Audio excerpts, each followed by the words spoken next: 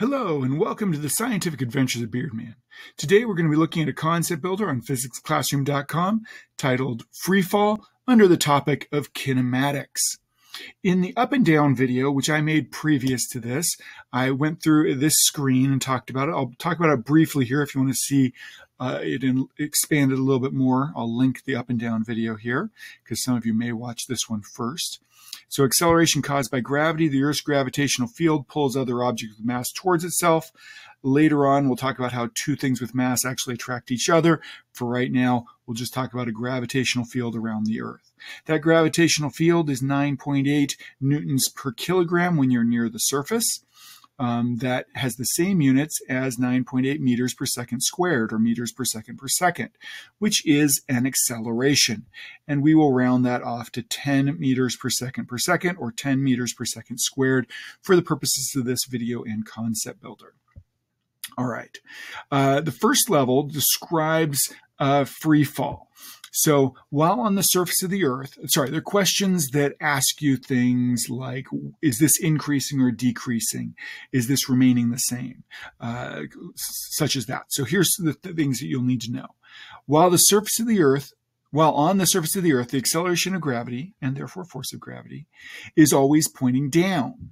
And it is always 10 meters per second squared. So never tell me that the acceleration is increasing or decreasing. At every single point, it is 10 meters per second down. Sometimes you'll call that negative 10 meters per second. All right. Um, then, uh, second, gravity slows things down that are moving up and speeds them up that are moving down. Since acceleration is down, if it started with 30 meters per second, then Next, it would be going 20 meters per second. And then it would be going 10 meters per second. And then it would be stopped. It would be at zero up there. And then it would be going down. But as it goes down, it's going to speed up because it's accelerating down. I don't have enough room to make a nice long one there. Um, and so that's that's what you'd be paying attention to. It's it's slowing down on its way up. The velocity is slowing down on the way up, and the velocity is increasing on the way down but the acceleration is the same the whole way. There is a question that has dot diagrams in here. If you are unfamiliar with dot diagrams, I'm going to link you here to a video uh, that the beginning portion of that describes dot diagrams.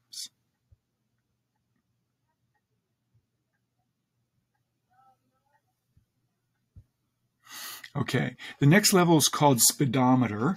Okay, and so it's important in this level to recognize that an acceleration, the acceleration of gravity is negative 10 meters per second squared, and that means that each second the speed changes by 10 meters per second down.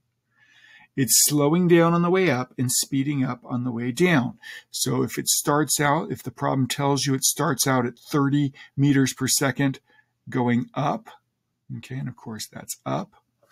Then one second later, these dots are all one second apart. It'll be going 20 up. Then it'll be going 10 up. Notice it's changing by 10 down each time. Since it's going up, 10 down, a 10 down change makes it smaller and smaller. At the top, it'll be zero. Then we'll have a uh, velocity of 10 down, then 20 down. Notice it's speeding up now and 30 down. Okay, and these questions, what they'll do is they'll ask at which point the object will have a certain velocity. So they'll tell you that it starts out at 30, and they'll say, at which point does it have a velocity of 20 meters per second down?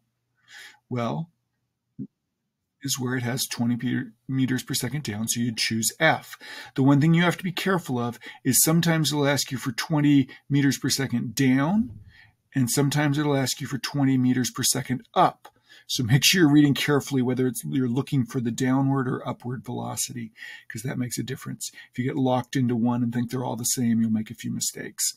Okay, but then just remember the direction uh, matters, so make sure you're paying attention to which direction. And that's the master level. On to the wizard level. Okay, so the wizard level, it's all about time, or it's about time. It's about time. All right. The, remember, the ball takes one second to change its speed by 10 meters per second downward because of the acceleration. Okay. So if we look through this, and this is 30, and this is 20, and this is 10, that's 0, 10, 20, 30. Well, how long did this take? Well, this part of the journey took one second. This part of the journey took one second. This part of the journey took one second. So that's three seconds for the way up. That part of the journey took one second, one second, one second. Three seconds on the way down for a total of six seconds for the whole journey. Okay, and that's one of the types of problems you'll have to do. Of course, your starting speed might be a little bit different, which just means you have more seconds on the way up. One second to slow it down 10 meters per second. So if it started out at 50, it's going to take five seconds to slow it down to zero. All right, next uh, type of question you'll see in the wizard level will read like this. I find these the ones that throw students off the most, so I want to spend the most time on this. I think you get four of these. A ball is equipped with a speedometer and launched straight upward. Pay attention to the direction. Uh, I think it's always going to be launched upward.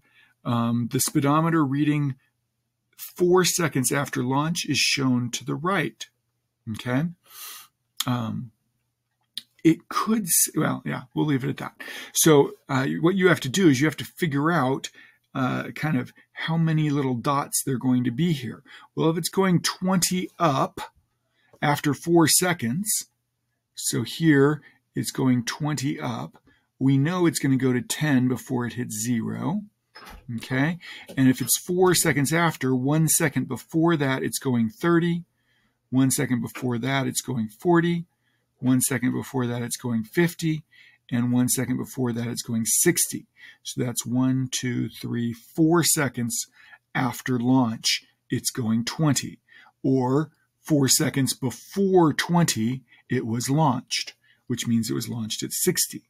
Okay, so then the question is at what approximate times would the ball be moving? And then pay close attention to this word because sometimes it'll be upward, sometimes it'll be downward. Uh, will the ball be moving downward and display the following readings? So when's it going to be going downward and reading 20? Well, there's 20, and that'll be 1, 2, 3, 4, 5, 6, 7, 8 seconds after it was launched. Okay. When would it be going downward with 10? That'd be 1, 2, 3, 4, 5, 6, 7 seconds after launch. Okay, I would encourage you to draw out a little picture if you're having trouble picturing this or just figuring it out in your head. Um, but if you can do it in your head, great. That's wonderful. All right. Uh, hope, have fun puzzling through these. Make sure you're understanding the concept of how the speed is changing as it's moving up and back down. And if you have any questions, put those in the comments. If you enjoyed this video and helped you understand the concept builder and physics, click like and subscribe, and we'll see you the next time on the scientific adventures of Beardman.